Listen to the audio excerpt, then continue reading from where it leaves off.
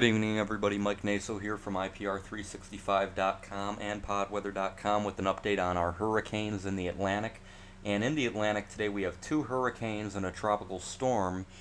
And the tropical storm is actually forecast to be another hurricane before all is said and done. You can see, obviously, on the right side of your screen here, we have a very catastrophic hurricane in the form of Hurricane Igor, one mile per hour shy of becoming the first Category 5 in the Atlantic since Felix. Remember Felix, which was way down here into Nicaragua in 2007? Yeah, it doesn't seem that long ago, but three years since we've had a Category 5, and this one uh, might not get to it, but it's so close right now that it's really just a technicality.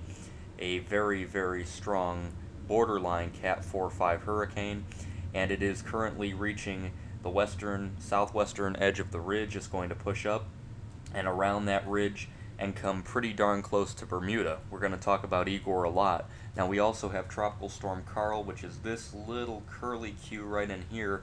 And when you see a curly Q like that under such a favorable upper level environment, high pressure aloft, outflow streaming southwest into the southern hemisphere, hot waters, September, we're lucky it's moving to the land now. Otherwise, this one too would be a strong hurricane. Still forecast to become a hurricane at the very least, and if it stayed over water long enough, it could be a strong one. Off the screen, we have Hurricane Julia. We'll talk about that as well. But right now, let's get uh, first to Igor. And as of 11 p.m. Eastern Time, Hurricane Igor was at 19.0 north, 53.9 west. Winds were 155 miles per hour, gusting to 190. So this is definitely the most intense hurricane we've seen in the Atlantic Basin in two years. And you can see the current motion is west northwest at 9, expected to turn northwest and stay a Category 4 hurricane uh, until about Friday night, then weaken gradually but still be a strong hurricane when it makes its closest approach to the island of Bermuda by Saturday night and Sunday morning.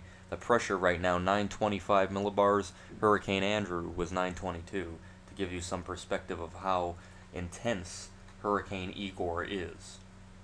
Here's latest model guidance again.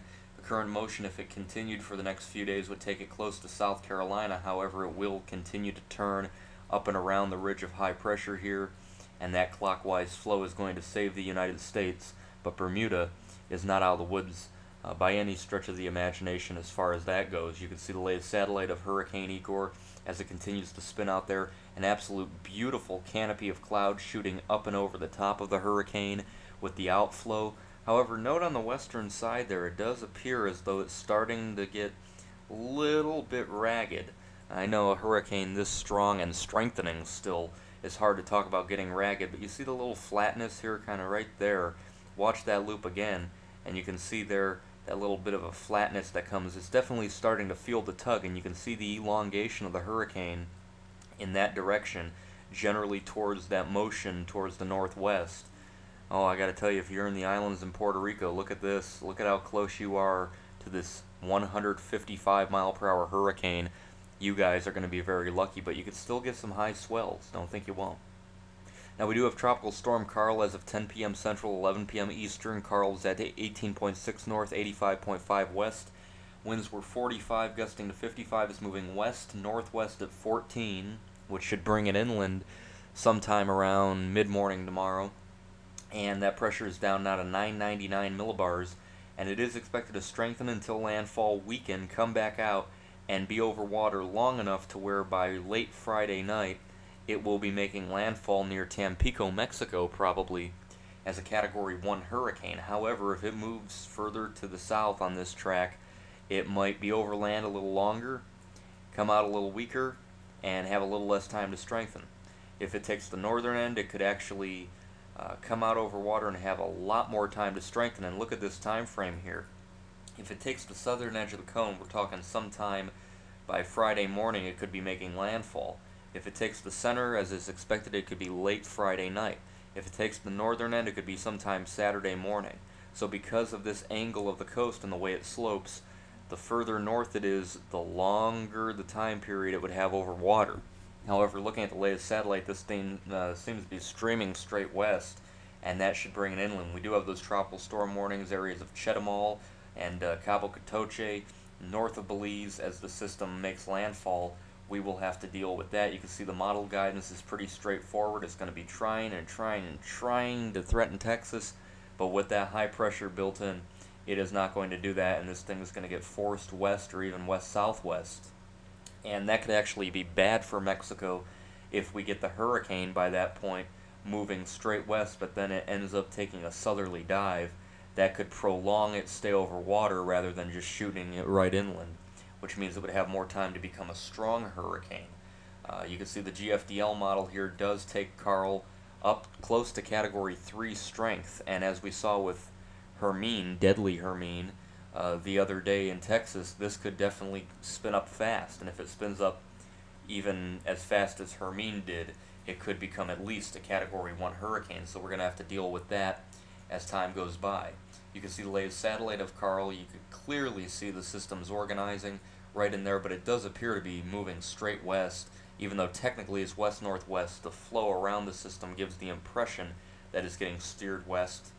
Regardless, uh, a landfall uh, sometime by the morning as a moderate to strong tropical storm, and then weakening, coming back out, a quick burst of convection you'll probably see, and then uh, strengthening into a hurricane before landfall. But keep in mind, right now is Tuesday night.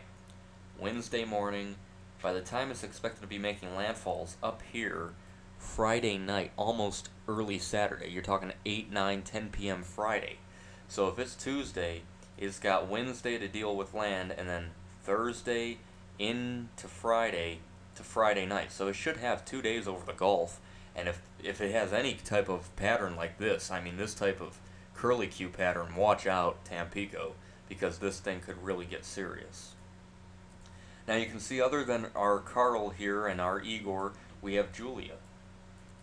And Julia, believe it or not, even though it's rather flat, that's not the satellite, it is a flat system. Julia is a strong hurricane.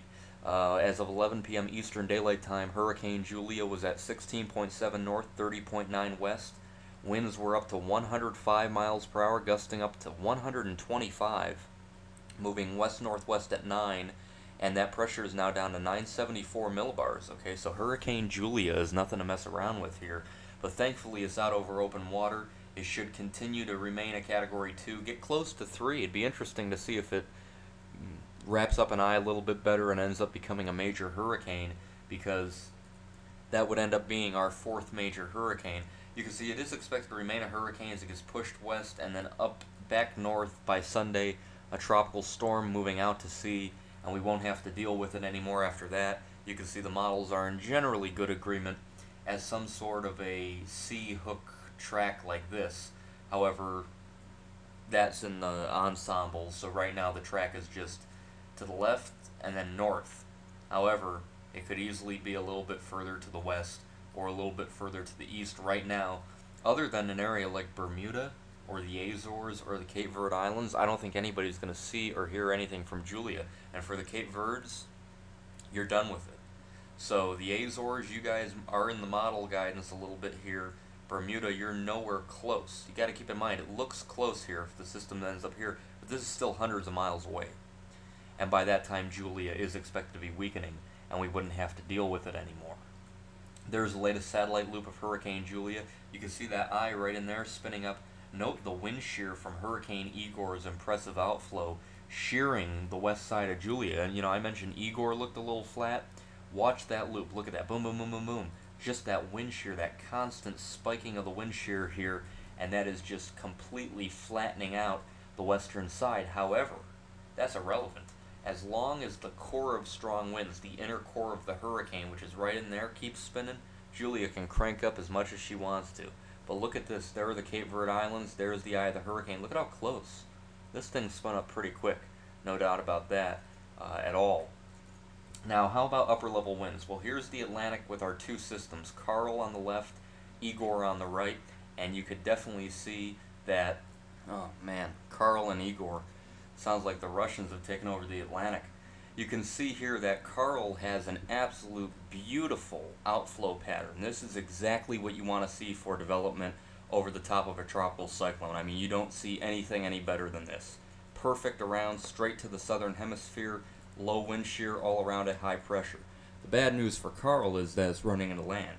Igor, not quite as much, but a pretty favorable uh, environment around it. And then look at this. I mean, this is low shear in front of it. 10 knots here, not that bad at all. And there really isn't any indication that the environment's going to get horrific for the hurricane until later on. So Igor is going to remain an intense hurricane throughout the period, including its closest approach to Bermuda. You can see that even better here. There's the center of Karl underneath the high pressure, and there's the center of Igor off your screen underneath the high pressure, and you can see that even better on the shear tendencies. Igor's outflow is definitely shearing Hurricane Julia. Julia doesn't show up, even though it's almost a major hurricane, but Julia is currently getting that wind shear directly from the outer fringes of Igor, and you can see Karl has nothing. Perfect. Look at this. Look at these blues and blacks. If this thing stays over water long enough, Karl could be big, big, big, big, big problem, big time for uh, Mexico. So keep that in mind. Here's another look. There's Hurricane Julia spinning. There's the Cape Verde Islands. Pretty good wave just moved off.